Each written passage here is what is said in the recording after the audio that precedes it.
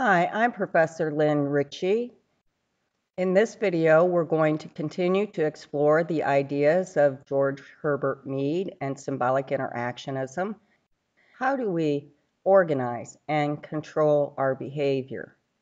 Mead uses the terms acts and social acts to help us understand this a little bit deeper. Let me describe some of my morning behaviors. I have the most pleasant alarm clock, three dogs who come and visit the side of my bed every morning around between 3:30 and 4:30. They'll stay there until I fling the blankets off me and say, "Let's go get cookies." I'll put my feet on the floor. I'll walk 25 steps to the kitchen. I will reach in the cookie box and bring out three cookies and give one to Doc, one to Ringo, and one to Annie too. Then on the way out of the kitchen, another probably 10 steps, I'll pick up my tablet and I will go over by the TV, turn that on to listen to the morning news with the clicker once you find it. And then I will do a series of Sudoku puzzles from easy as pie to annoying. Then I'll walk about 10 steps over to the kitchen, make sure the dogs have water. Then I'll walk back and get them some kibble for the day.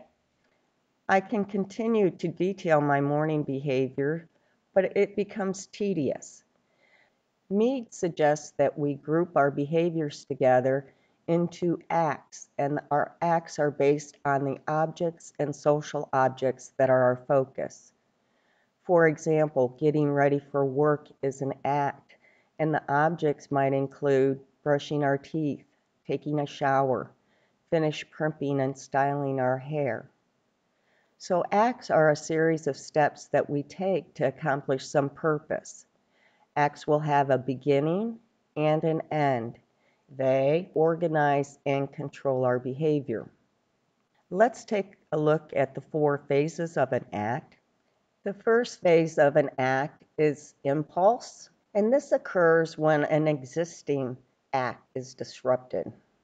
So if I'm sitting relaxing watching television and I hear a bell ring, the ringing bell would be the impulse.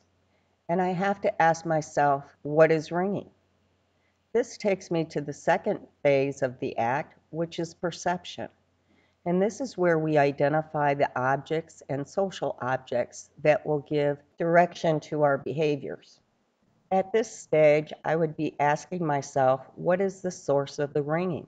Was it from the TV, my doorbell, my laundry, or was it the telephone?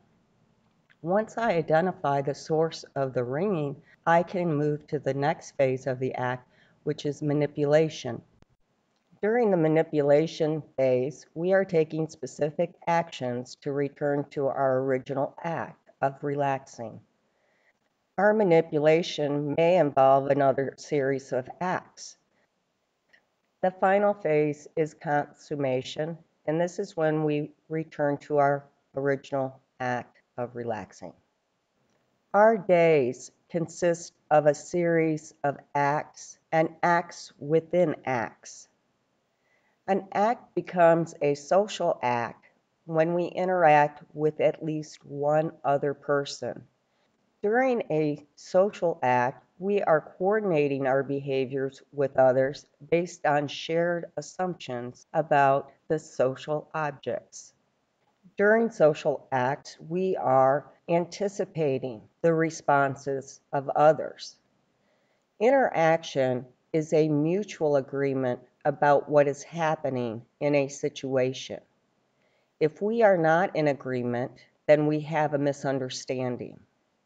Our assumptions about the social objects are made during the perception phase. When we interact with others, we need to be aware of the perception phase. It is at this stage that we can identify the wrong social objects resulting in a misunderstanding. Let me give you an example of this. Years ago, I was driving to the university on a snowy day. I noticed a taxi driver coming down a hill, and I said to myself, he's not going to be able to stop.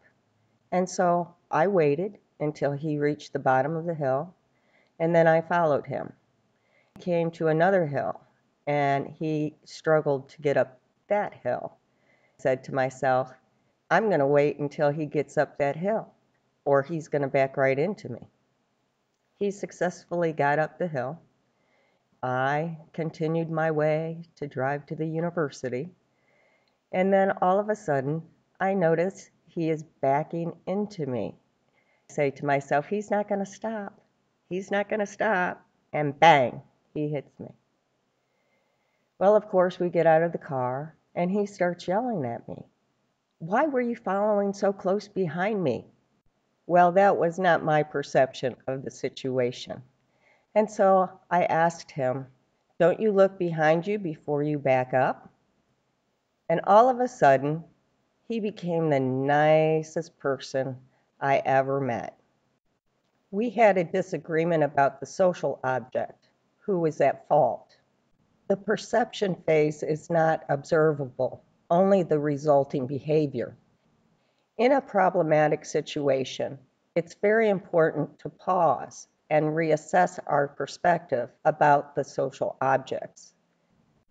We have to be able to make sense of the acts of others to have successful interactions. When we are in an ambiguous situation, it is very important to ask questions. Let's take a closer look at the perception phase and the cultural knowledge we use during this phase. Okay, we'll see you soon.